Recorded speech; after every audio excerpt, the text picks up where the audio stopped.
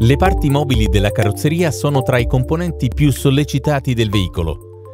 La frequente apertura e chiusura del portellone posteriore, del cofano del bagagliaio e del cofano contribuisce a questo fenomeno. Le forze incontrollate favoriscono l'usura prematura delle molle a gas, riducendone l'efficacia nel sostenere e mantenere la forza e o diventando rigide durante il funzionamento. Le molle a gas Febi hanno un elemento di regolazione idropneumatico composto da un tubo di pressione, uno stelo del pistone con guarnizione e sistema di guida e fissaggi facili da installare.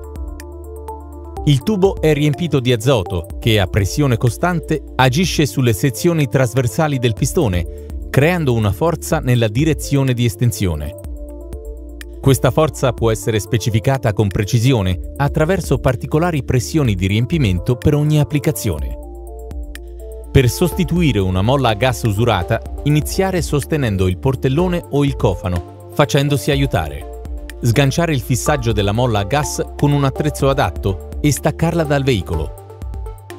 Pulire e lubrificare i giunti sferici di fissaggio del veicolo e montare la nuova molla a gas. Se il veicolo è dotato di due molle a gas del portellone posteriore, si raccomanda vivamente di sostituirle in coppia.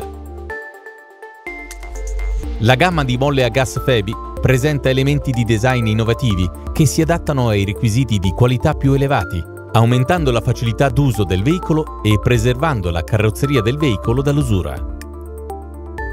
In questo modo si ottiene un'equalizzazione ottimale del peso sostenendo le forze che sollevano i carichi pesanti del portellone posteriore o del cofano. Le eccellenti caratteristiche di smorzamento assicurano un funzionamento perfetto e reattivo.